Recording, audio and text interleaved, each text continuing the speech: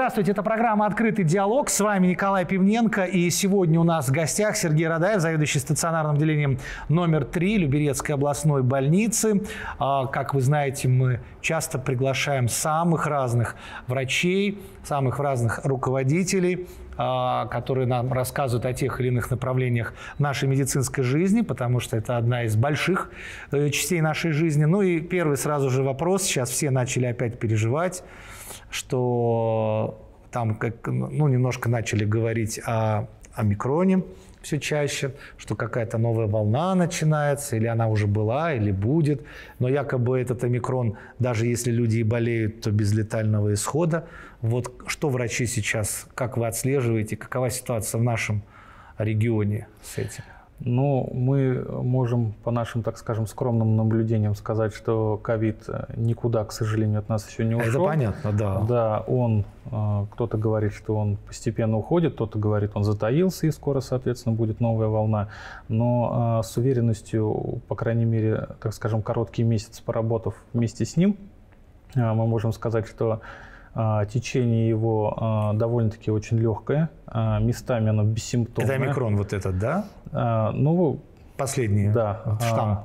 Угу. Течение его бессимптомное. Чаще это все-таки выявляется у больных, у которых нет как таковых признаков вирусного заболевания, угу. да, и, соответственно, то есть элементарно пациент может находиться где-то в другом лечебном учреждении, совсем по другому заболеванию, и, допустим, при каких-то так скажем, на подозрительных моментах, да, это какое-то единовременное повышение температуры, соответственно, у пациента mm-hmm. берется тест, он оказывается положительный и, соответственно, попадает к нам. Либо пациент вызвал э, скорую медицинскую помощь э, совсем по другой нозологии, скорая помощь берет тест, он оказывается положительный, он mm-hmm. попадает к нам. Вот.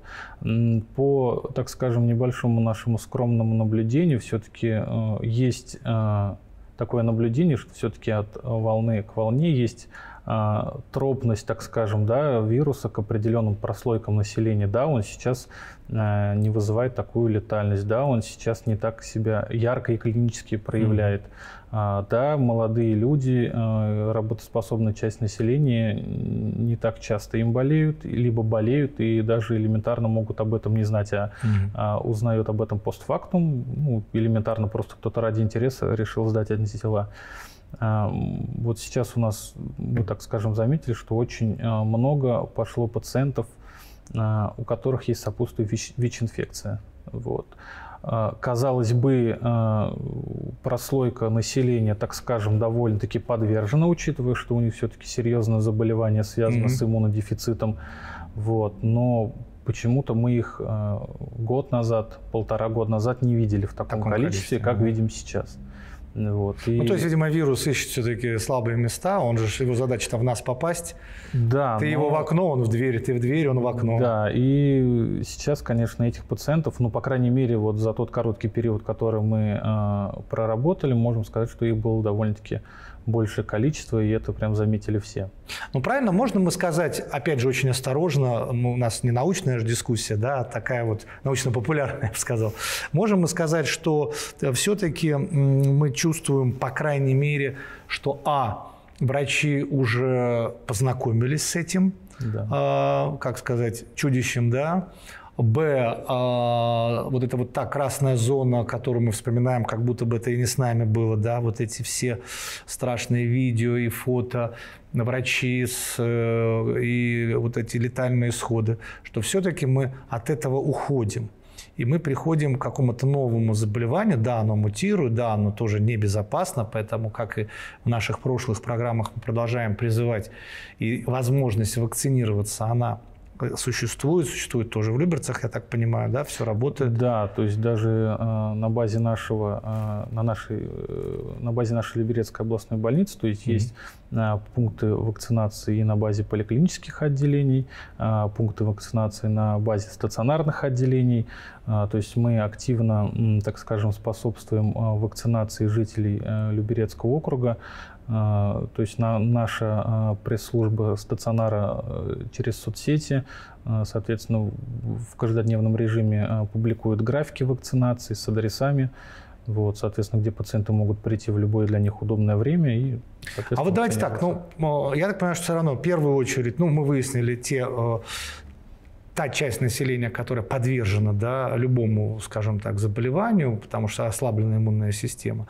Но э, на сегодняшний день э, кому нужно ревакцинироваться, как вакцинироваться, то есть опять делать две Значит, э, раньше как было? На год, да? Сначала было первое на год. Потом стали советовать, что надо через полгода хотя бы еще один там, спутник сделать. Как сейчас врачи, что рекомендуют? Ну, а, вообще а, о вакцинации все-таки в первую очередь нужно думать людям тем, а, которые все-таки отягощены по сопутствующим заболеваниям. Это возраст, это наличие, к примеру, сосудистых заболеваний, сахарный диабет, заболевания бронхолегочной системы, да, это хроническая обструктивная болезнь легких, бронхиальная астма, угу. вот, хронические бронхиты курильщика, те же самые. То есть а, те люди, которые ежесезонно, а, банальные сезонные ОРВИ, ну, сейчас сказать, вот где банальная сезонная ОРВИ, а где легкое течение ковида, на самом деле очень трудно.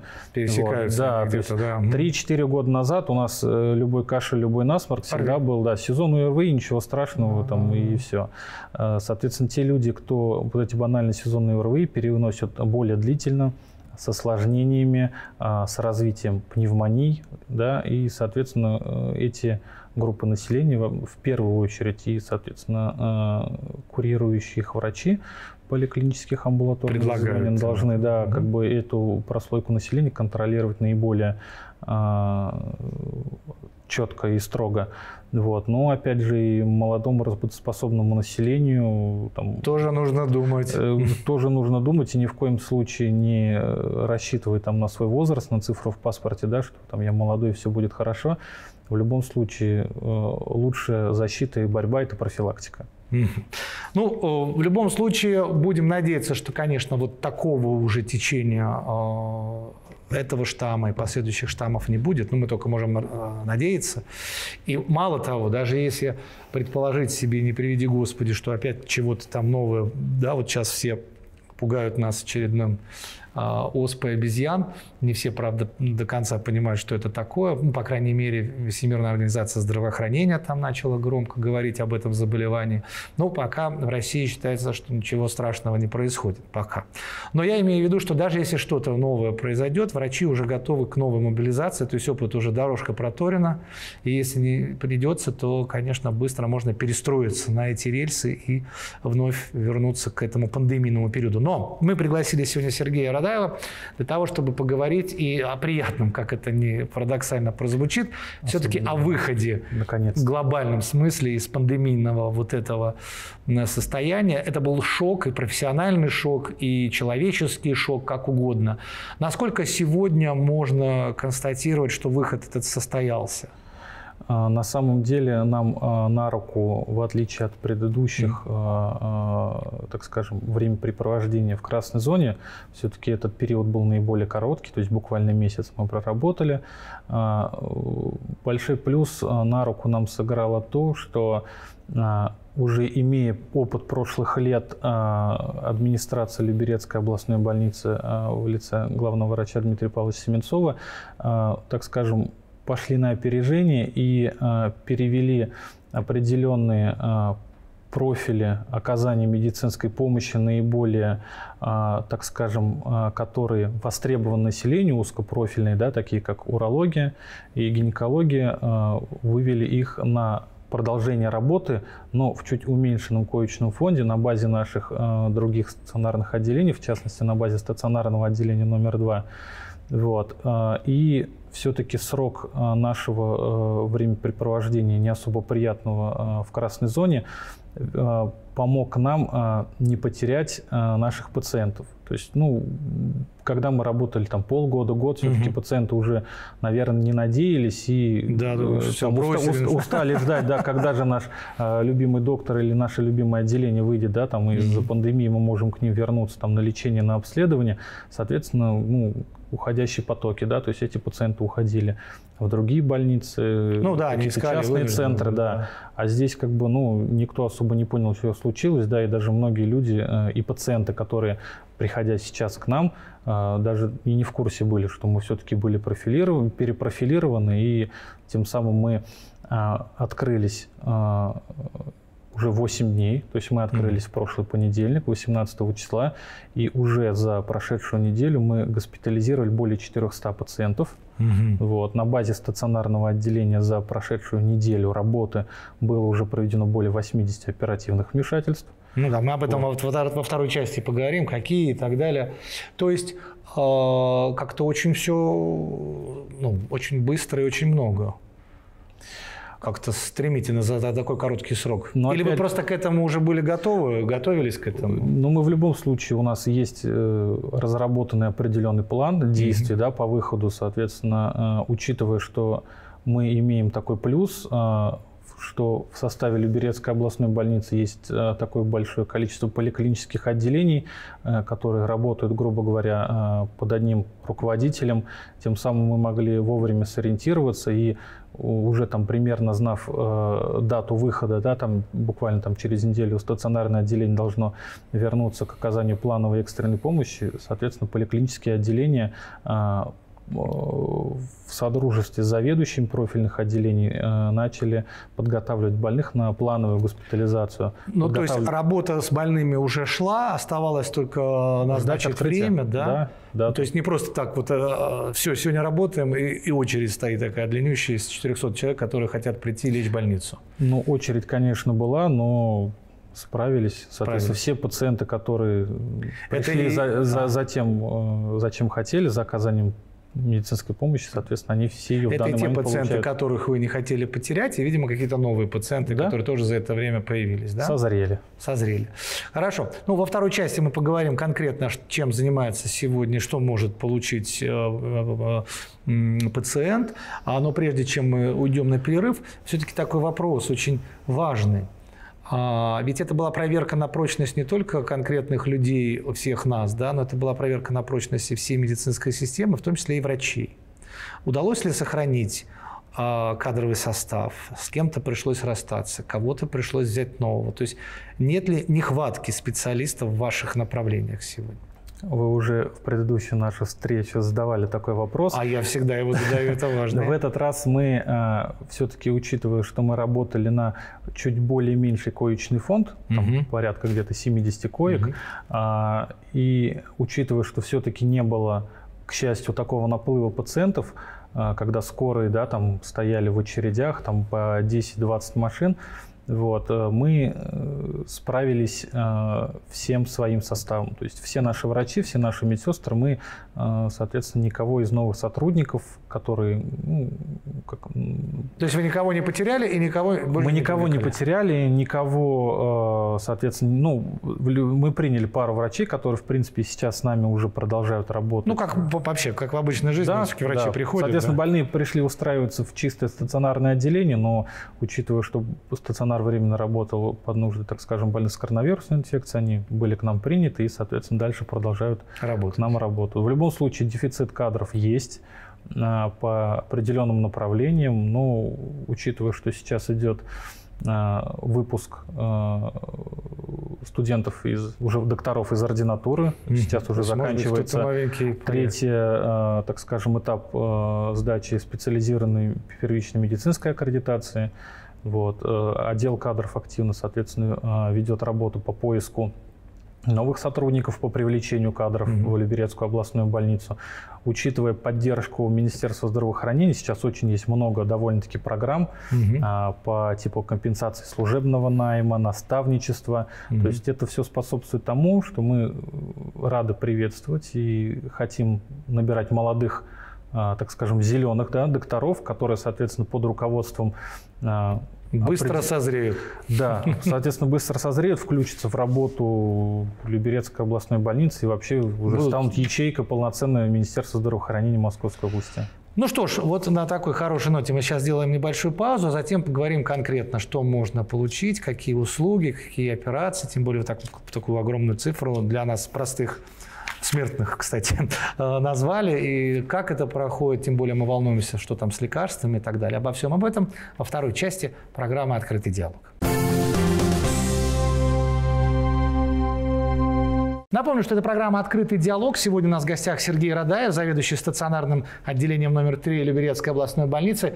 В первой части мы поговорили немножко о новом таком более-менее легком, будем его называть, чего ж там греха таить, штамме э, омикрон. Для нас, по крайней мере, пока ничего не объявлено. Наоборот, все ограничения э, снимаются.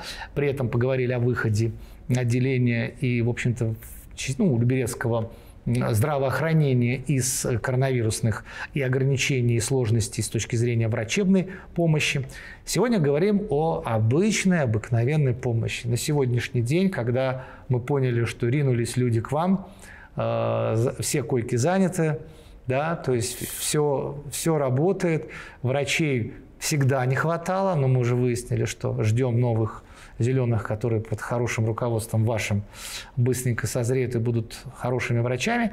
Что сегодня можно получить? Вы сказали, что сделали уже сколько операций, повторите? Более 70. Это за неделю? Да. За неделю более 70 операций. Ну, вы же понимаете, что в нашем обычном человеческом понимании операция это что-то сверхъестественное. Ну да, я думаю, ну, если что-то страшное. нас смотрят наши доктора, все-таки да. они поймут, что операция операция рознь. Да. Есть малые, есть большие, есть плановые, есть экстренные, ну, вот поэтому это что цифра на самом деле... Да. У нас на базе нашего стационарного отделения, как и ранее, а, четыре оперирующих отделения. Это отделение гинекологии, а, отделение урологии, отделение хирургии и, соответственно, отделение офтальмологии, которые также проводят, так скажем, малые оперативные вмешательства. А, также на базе нашего отделения из, а, так скажем, отделения терапевтического профиля это отделение терапии, отделение неврологии, отделение кардиологии для больных с нарушением сердечного ритма. А, буквально с марта месяца у нас начало работать отделение нефрологии для больных с заболеванием почек. И также на базе нашего стационарного отделения начал функционировать диализный центр. Угу. Вот. А, Сразу же оборудование под все поставленные задачи на сегодняшний день вы укомплектовано? Оборудование было а, закуплено еще в 2021 году, и оно уже, так скажем, а, с период с января по март, пока мы, так скажем, работали еще в красной зоне, угу. соответственно, мы уже активно ну, если так можно сказать, обкатывали оборудование, мы его активно использовали, мы оказывали помощь больным с заболеваниями почек, оказывали им заместительную почечную терапию. Вот. И, соответственно, с марта месяца, когда стационарное отделение перепрофилировалось и вернулось к оказанию плановой экстренной помощи, а, соответственно, мы продолжили, соответственно, эти отделения продолжили, продолжили функционировать. То есть, исходя из тех названий э, ну, заболеваний или, скажем так, направлений медицинских, по всем этим направлениям проводится оперативное вмешательство, то есть обычное амбулаторное лечение, стационарное лечение и оперативное вмешательство, верно? Да, помимо этого также мы ждем пополнения э, и обновления оборудования для э, оперирующих отделений. То есть у нас уже урологическое отделение, как, возможно, мой коллега Павел Васильевич Никифоров рассказывал, они получили литотриптор, также, соответственно, и гинекологическое отделение, и отделение хирургии, соответственно, ожидают получения, э, во-первых, новой мебели для операционных. Угу. То есть мы полноценно сейчас запускаем работу в течение, так скажем, я надеюсь, уже осенью запустим работу пятой операционной. Вот, и, соответственно, все будет оборудовано, так скажем, как необходимо. Все, что надо, все, все у нас будет. К операциям мы еще вернемся. А немаловажный вопрос для наших, конечно же, зрителей, которые, ну, все мы потенциальные пациенты и врачи, естественно, по поводу лекарств. Тоже известная сейчас ситуация, и у людей есть переживания, э, все ли доступно, есть же какие-то лекарства, которые положены бесплатно, а не придется ли что-то закупать на стороне за большие деньги? Вот в этом плане как сейчас ситуация? А, я так понимаю, что все-таки, учитывая а, определенную обстановку, эти а, страхи не просто так, но все жизненно важные необходимые лекарства которые, боль... списка. которые больному необходимы жизненно по той или иной нозологии, с которой он у нас лечится, все они в данный момент в стационарном отделении есть. В любом случае всегда ведется четкий расчет лекарственных препаратов и учет. Если мы видим, что, к примеру, у нас там через месяц, через полтора, через два что-то закончится, соответственно, мы активно работаем с отделом закупки, с э, нашей централизованной аптекой для того, чтобы э, ну, не получилось так, что препарат закончился, а у нас его нет. Соответственно, mm-hmm. все закупки планируются заранее. Ну, вернемся к оперативному вмешательству. Опять же, это такая таинство для обычных граждан. А у вас есть какое-то планирование операции? То есть я о чем говорю? Что понятно, что люди все-таки болеют, и э, трудно иногда запланировать болезнь, тем более мы уже выяснили, что все-таки сейчас после восстановления, да, у вас наплыв, а от этого никуда не уйдешь, пока оно все-таки нормализуется. Но как часто проводятся операции, вы ставите какие-то перед собой сроки, и, или все принимается решение по необходимости. Если нужна операция, то она будет. Или вы можете ее отодвинуть, или, например, наоборот, э, сказать, что не надо вам пока операцию.